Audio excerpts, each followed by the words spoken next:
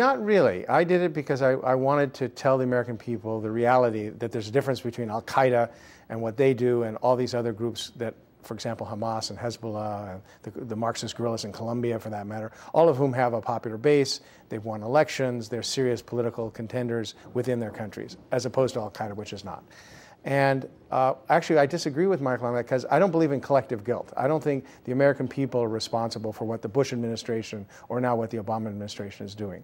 And the uh, overwhelming popular opinion is opposed to the war in Iraq, and it's solidly against the wars in Afghanistan. The problem is the people in Washington ignore the popular opinion of the people in the country. Uh, and, and as, as, they did in the Vietnam uh, until it went on for a number of years before the war ended uh, there.